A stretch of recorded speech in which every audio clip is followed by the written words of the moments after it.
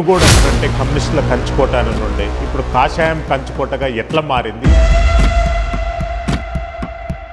కాషాయ దళం దిక్కు నరేంద్ర మోడీ గారి నాయకత్వం వచ్చి ఇవాళ రాష్ట్ర ప్రభుత్వము దగ్గర ఖజానా కాలైపోయి కేంద్ర ప్రభుత్వంకి వెళ్ళి వచ్చినటువంటి నిధులే.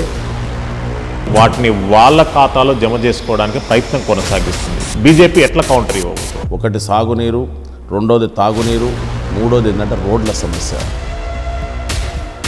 ఖచ్చితంగా కేంద్ర ప్రభుత్వం సహాయ సహకారం అందిస్తానన్నది నాకు హామీ ఇచ్చింది. ముఖ చిత్రంలో మునుగోడుకు ఒక గుర్తింపు అనేది ఉంటుంది. అది ఫ్లోరైడ్.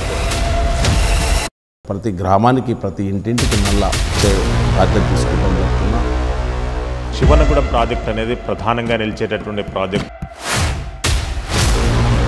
భూ నిర్వాసితులకి ఏంటంటే నాలుగు లక్షల ఇరవై ఏడు వేల రూపాయలు పర్ ఎకరానికి ఇచ్చింది అదే మల్లన్న సాగరంలో కాళేశ్వరం ఇరవై రెండు లక్షల రూపాయలు ఇచ్చింది